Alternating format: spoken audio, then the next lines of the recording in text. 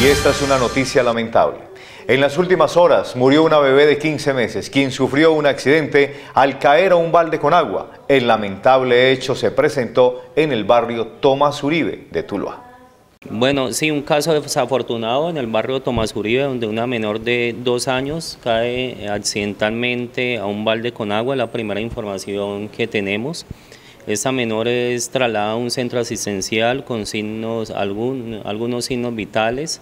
Hay algunas maniobras de los médicos en, la clínica de nuestro municipio.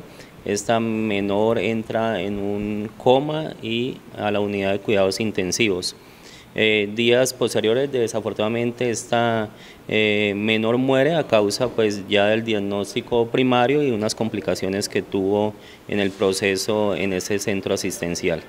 De todas formas, este caso lo aboca unidades de Policía Judicial de Infancia y Adolescencia, quienes hicieron acompañamiento desde el primer momento en que sucede este accidente. Se están revisando eh, algunos otros componentes, como el posible descuido también de sus padres, pero pues esperaremos avanzar eh, sobre esta investigación y determinar eh, lo que lleva a la muerte de esa menor, si se trata de un accidente o si hay otro factor externo.